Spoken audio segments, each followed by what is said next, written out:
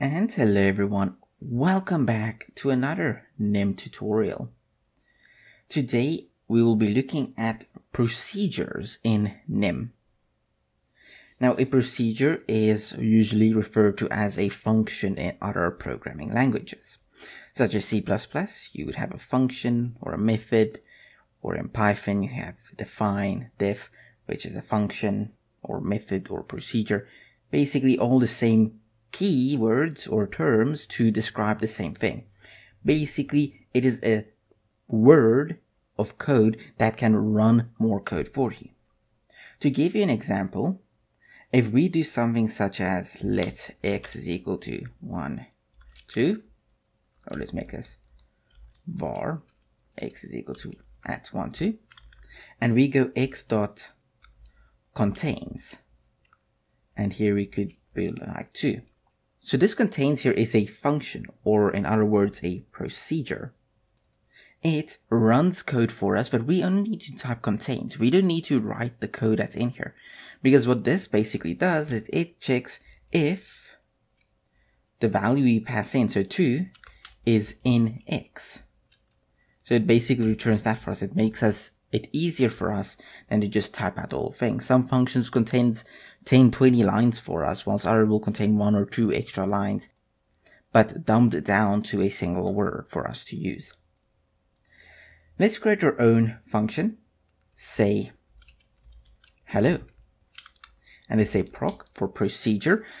Again, when I say function, I am primarily talking about a procedure. There is also a func keyword in NIM, which we'll get to later on. But when I say function, method, or procedure, in general, I am talking about this procedure because that's what you'll be using for the most part. And here we can just go like this and say echo hello world. Now this function we can just say say hello. There we go. So this function will now be called. If we were to run this, we'll get hello world. So this function here is going to execute whatever is in here. As long as it is indented, make sure it's indented, then anything in here is part of this function and will be run. So I can call this as many times as I want and it will execute the code in here as many times as I call it. So we go like this, then as you can see, it increased a lot. You can also specify the type it returns. In this case, it would return a void, meaning it returns nothing. You can also pass in a variable that should be used in here, which is called a parameter, such as name, which is a string type, and we can default it to Nick. So let's go here and just say hello name. There we go. So now we are saying hello to the variable that is passed in, which by default would be Nick.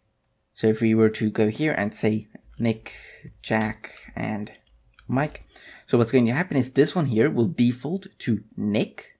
This one here will default to Jack and this one here will default to Mike. So we're storing the value we pass in here, which should be a string type. We're storing it inside of this variable here. And then we can use this variable only inside of this procedure. We cannot use it outside of the procedure unless we return this value, which we'll get to later on. So if we were to run this, we'll get hello Nick. By default, it is Nick. So if you don't pass anything, you'll get Nick. This is an optional trait. If you do this, like that, then this will have an error because the name is required. But if you add an equal symbol here, then the name is optional. Or this parameter is optional. And then there's hello Jack and Mike because we passed Jack and Mike in there. A more intense example could be like the sum, getting a sum something. So procedure, sum, and then we need x and y, which is both integer. Now you could go x colon int because that's its own variable and y colon int. But because both of them are integers, you can do this and int will be inferred for x here as well. And you can put as many things here as you want. So like that, and all of these will then be considered integers. But anyhow, let's just do this. So both x and y is considered an int, and it returns an integer later on. Then here we can just say return x plus y. The return keyword returns a value for us.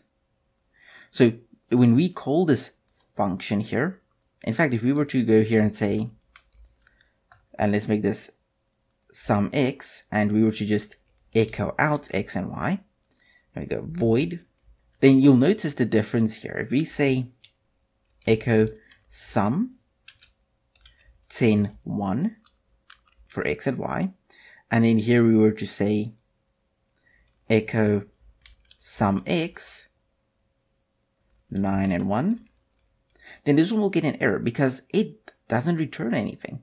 Unless we specify return here, and then we specify int here, it will see it as something that doesn't return anything. And when you return something, you can store it in a variable. Instead of let's say echo here, let's say we say let num is equal to sum 10 and 1, and we were to echo out num, then the value returned by sum will be found inside of num. So if we were to run this, we'll get 11 because 10 plus 1, which is being returned here, is stored inside of num. And num is being echoed here. And It is also good to take note that you cannot add code after return. So I can say echo begin, but if I try and go here and say echo end, we'll get an error actually because let's run this. And we'll just get begin and 11. So it will actually just say warning because unreachable code after return. Because after return, the entire function exits. So once you use return, you cannot put code after it. However, over here, it says unreachable code after return statement. So you can put code before this return, but once you add the return, it ends the function. You can also do function overloading, meaning you can have two functions with the same name, but does things slightly differently, such as procedure sum, but this sum takes in an x, a y, and a z value. Let's go int here. It returns an int and here we can just say return x plus y plus z. So then it will choose which one is most relevant. So here we can also echo out sum and then 9, 4, 9. And now it uses both of these sums. This one uses the second sum which takes x, y, and z. This sum uses the first sum which only takes in x and y. This is called function overloading. You have two functions with the same name, but they take in the same variables, but this uh, just a little bit differently. If we run it, we'll still get the same values. You might be wondering, could you change this into a float instead of an int?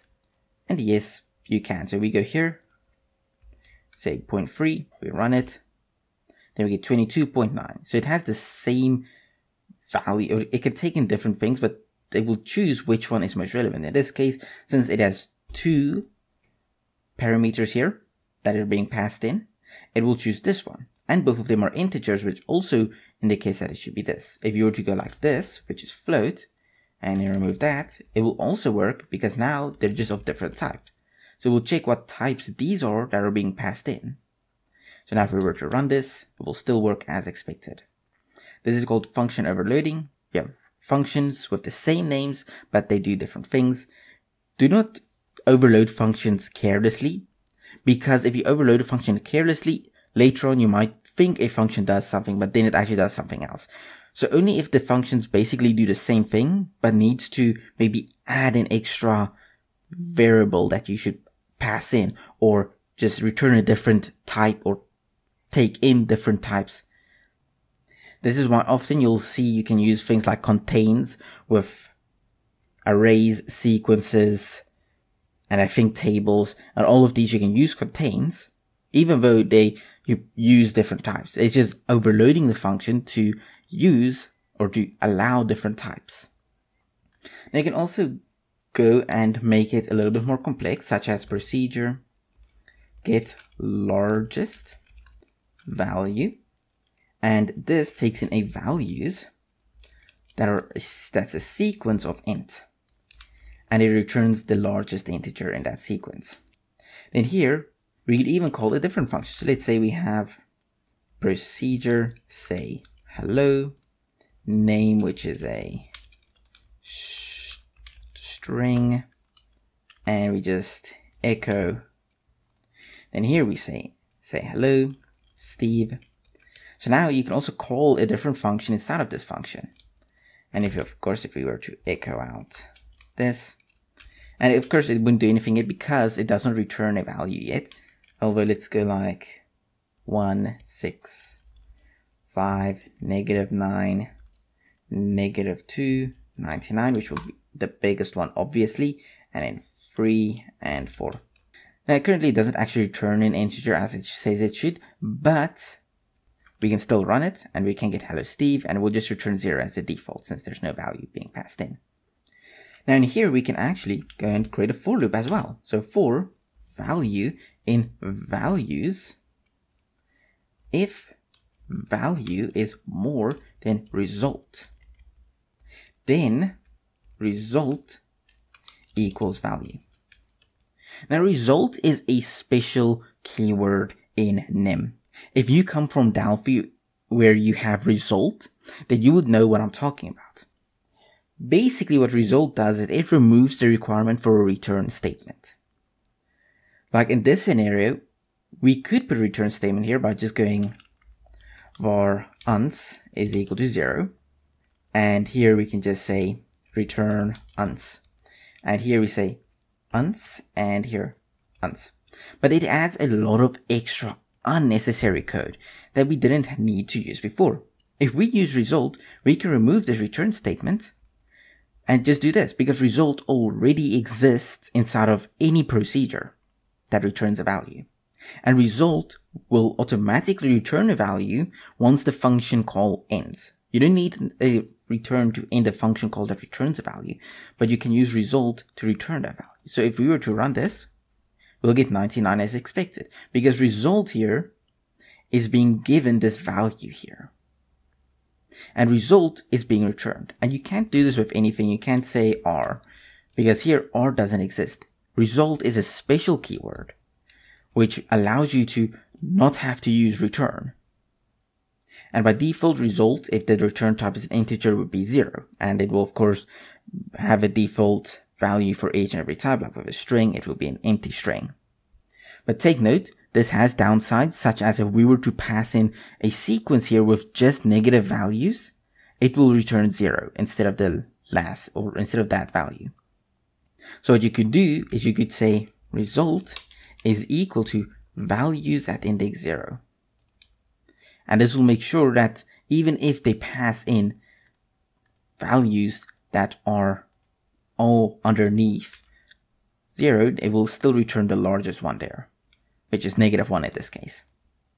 And if you do this, it will still do the same thing. It will just work as well.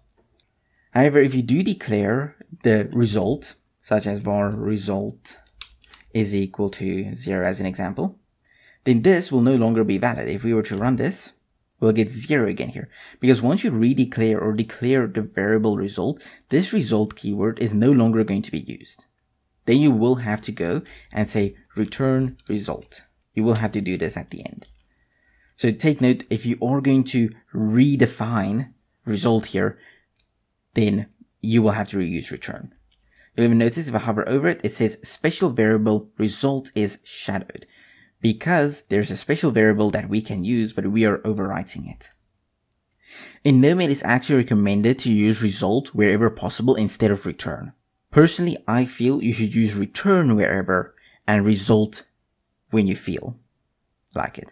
It's up to you which you use. On the end of the day, NIM is basically created in a way that everyone can be satisfied in some way. Such as I can go here and say echo, and let's just copy this here. I can go like this. And I can say get largest value. And I believe that should also still work perfectly fine, as you can see. NIM is made in such a way that basically no matter who you are and what you prefer, your preference is most likely going to be allowed in here. So if you don't want to use result, if you're like me and you prefer using return because it makes the code more clear for you, then use return. If you prefer using result because you don't want to use return or you just think it looks better, use result instead. I personally find my code to be less buggy if I use return because I might forget about results and forget to update it where I need to and whatnot. I'd rather manage the return myself. Now there's still a lot to talk about when it comes to procedures, so I'm going to split this tutorial up into a couple of parts. Thank you for watching. I hope you all enjoyed, and I will see you all again in the next NIM tutorial.